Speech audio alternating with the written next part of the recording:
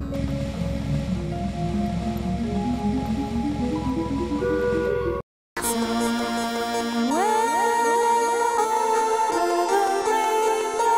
der Bratwurst, meine geboosterten toxischen Tabi-Innen und allen anderen, die sich für Gesichtsmasken und Nadelfetische interessieren. Wir feiern heute die besten Mindest-Irgendetwas aller Zeiten. Oh je. Unsere Ministerien sind seit einem manisch-vegetarischen Österreicher, der allen anderen Fleischkonsum übel nahm und ihn seine Art zu leben aufzwingen wollte, nicht mehr so fantastisch besetzt wie jetzt. Damals wie heute waren Zeichen der Gesinnung überall zu sehen. Und Politik Etwasse zeigten sich gerne mit ihren Kultzeichen, um der ganzen Welt zu zeigen, dass ihre Art zu leben die einzige richtige ist. Oh. Alle, die das nicht so sehen, sind natürlich total intolerant.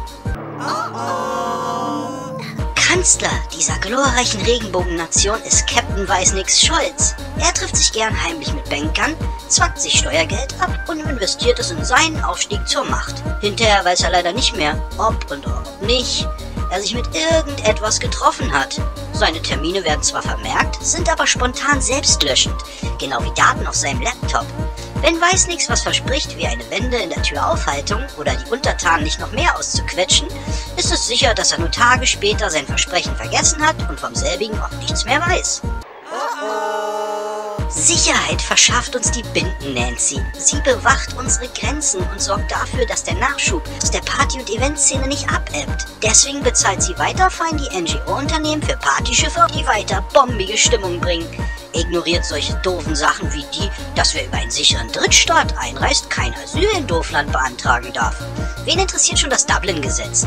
Angie 666 hat's doch auch nicht interessiert, dass sie millionenfach gegen EU-Recht verstoßen hatte.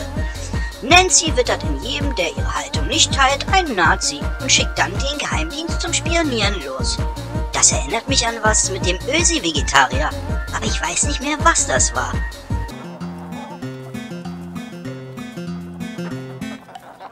Die Wirtschaft in unserem Fantasia der Öko-Rothemden vertritt ein für kleine Menschen Ding mit Seitenschreibender They-Pronomen weiß ich nicht, namens Robert Habeck. Wobei ich nicht weiß, ob er Habeck als Vornamen oder Robert möchte. Deswegen nenne ich ihn im Folgenden einfach Roho. Roho hat als Ding mit Seitenschreibender eine hervorragende Fantasieeignung, um die Wirtschaft in Deutschland mit sinnvollen Verteuerungen der Energiepreise in Konkurse und Insolvenzen zu stürzen. Er prägte geniale Aussagen wie, eine Firma nichts verkauft, geht sie nicht insolvent. Völlig richtig. Die Firmen sollen einfach ihre Produkte verschenken und sich vorstellen, sie würden Erlöse erzielen. Und weil Fantasie was ganz, ganz Tolles ist und Roho davon viel besitzt, sagt ihr jetzt, nur weil Unternehmen bald noch mehr für die Produktion bezahlen müssen, würden sie die Mehrkosten natürlich nicht an die Verbraucher weitergeben.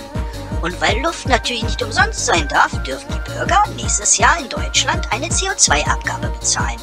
Kommen wir denn dahin, wenn irgendwas noch umsonst ist? Weil Fantasie auch planen bedeutet, bezahlt Deutschland Ländern Entwicklungshilfe, deren Wirtschaft doppelt so schnell wächst wie unsere, zum Beispiel Indien oder China. Roho ist trotzdem sehr beliebt, weil er kann toll schwafeln und ganz, ganz traurig gucken.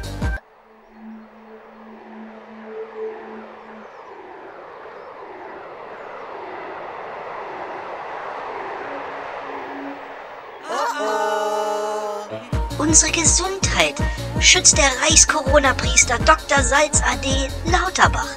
Ein Vorzeige-LGBTQ-Aktivist, der gern das Klima schützt, indem er den Leuten den Verzehr von BCL-Margarine nahelegt, die sich später als gesundheitsschädlich erweist. Der gern mal Produkte wie Lipobuy als Pharmalobbyist vertritt, die Menschen nachweislich schwer geschadet oder sie umgebracht haben, der gern mal eine Impfung als immunitätserzeugend verkauft, die durch eine Muskelinjektion gar keine Immunität in der Schleimhaut aufbauen kann, der gerne mal Menschen, die nicht an diese Fantasieimmunität glauben, mit 2 oder 3G-Maßnahmen aus dem öffentlichen Leben ausschließt. Natürlich nur, wenn sie nicht geboosterte sind. Weil wir so tolle Ministerien haben und ich das nicht alles in eine Folge kriege, freut ihr euch hoffentlich in Kürze auf Folge 2. Bis dahin wünsche ich euch ein gesegnetes Weihnachten mit Maske, Dreifachimpfung und natürlich einem Triple Booster.